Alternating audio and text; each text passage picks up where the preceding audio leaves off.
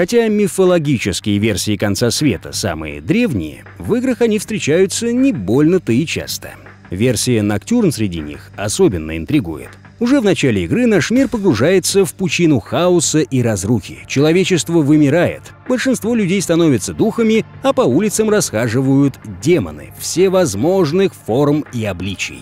В этом спиральном мире пространство искажено, а осколки цивилизации разбросаны по безжизненной пустыне.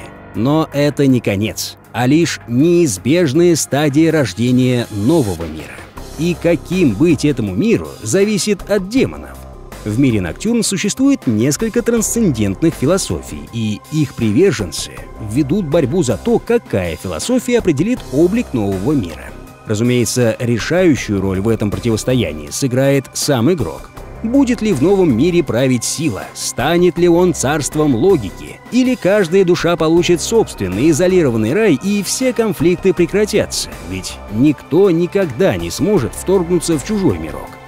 Это лишь основные варианты дивного нового мира. А пока мир спиральный. Постапокалипсис Ноктюрн дарит разные эмоции – гнетущее одиночество, неотвратимый конец догнивающей реальности и в то же время пьянящая свобода.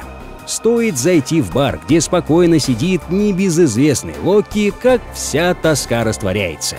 За креативный и самобытный подход к мистическому постапокалипсису седьмое место.